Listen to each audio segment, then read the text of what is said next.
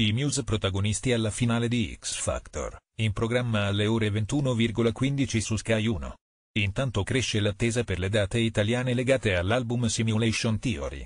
Infatti dopo il clamoroso successo di San Siro nel 2010 e dello Stadio Olimpico nel 2013 i Muse torneranno a suonare per tre volte nei due più grandi e prestigiosi stadi italiani venerdì 12 e sabato 13 luglio a Milano e sabato 20 luglio a Roma. Abbiamo incontrato e intervistato Chris Volst e Chiocciola Basso Fabrizio i Muse planano sull'astronave X Factor e sono gli ospiti internazionali della finale, in programma su Ski 1 questa sera, 13 dicembre, alle ore 21,15. Intanto cresce l'attesa per i loro tre live italiani che accompagnano l'album Simulation Theory. Saranno in Italia venerdì 12 e sabato 13 luglio a Milano e sabato 20 luglio a Roma. Abbiamo incontrato e intervistato Chris Volst Olme. Simulation Theory, vostro ottavo album, ha avuto una gestazione lunghissima. E apostrofo vero ci siamo presi un lungo periodo per prepararlo. Le dico solo che sono trascorsi 18 mesi tra la prima e l'ultima registrazione. È un lavoro molto diverso dai precedenti e ci siamo presi un anno e mezzo per realizzarlo. La differenza più netta, gli altri erano più compatti come suoni, questo è molto differente da un brano all'altro.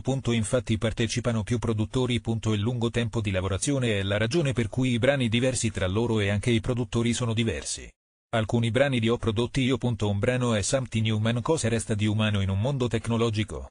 Non posso fare a meno della tecnologia, lo stesso i miei figli ma ho notato che sta prendendo troppo piede. Quindi? Voglio ritornare ai contatti umani ridurre il contatto con le tecnologie e portare più spesso il cane fuori. Convincere i figli sarà più arduo? Ho sei figli miei più due della mia compagna quindi sono otto. Coetanei? Tre sono teen, tre giovani e due piccoli. I tre sono dentro la tecnologia non telefonano, non escono, non hanno il piacere di incontrare amici. Sono nativi tecnologici. Vero. Ma i più giovani sta cercando di educarli a non usare troppo la tecnologia per quanto so che non sarà facile. Una tattica? È facile se c'è un problema dare loro un iPad perché giochino.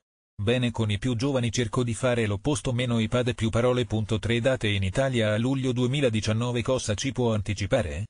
La tecnologia nei nostri show è sempre stata fondamentale, a ogni tour abbiamo inventato qualcosa di più pazzesco. Stavolta cambierete strategia?